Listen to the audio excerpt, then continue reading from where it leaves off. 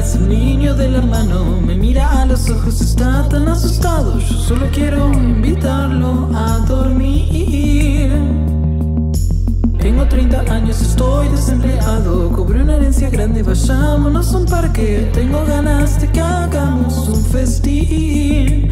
Y sin embargo, pienso que ha sido de esto. Con tanta gente grande que no entiende lo que siento. Déjame explicarte al oído mi situación.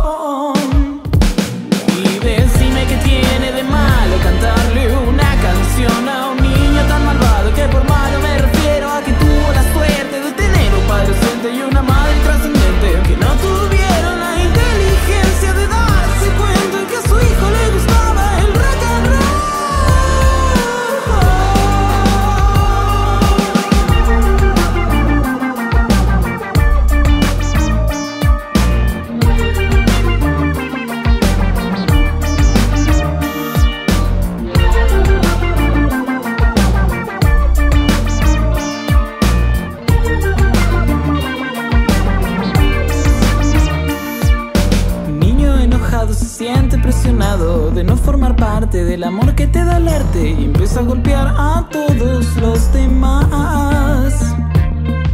Y sin darse cuenta sus padres divorciados están heredando lo peor de su pasado. El jovencito se comenzó a enfermar. Y no pierdan de vista la madre transparente que se dejaba controlar por el niño de la muerte. Hay que tratar de abrazar la situación.